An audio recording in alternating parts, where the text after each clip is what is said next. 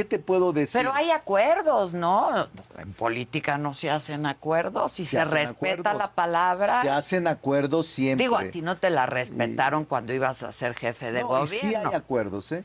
Pero en este caso, Adela, te puedo decir que el único acuerdo es que yo participe en lo nacional y que me atenga a los resultados finales. ¿Tú verdaderamente crees que va a haber piso parejo? Sí, sí le creo. A partir de esta regla Pero ¿cómo va a haber piso parejo? Ya, si unos traen más lana que otros. ¿Y de dónde va a salir el dinero? Lo vamos a ver.